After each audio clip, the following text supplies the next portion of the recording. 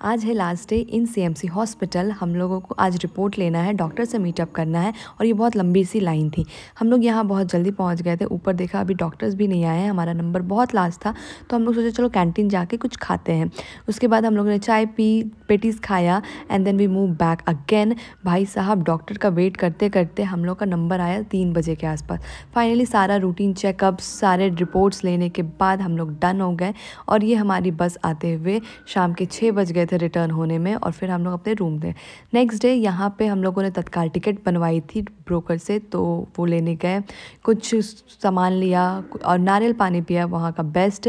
मलाई खाया and thank you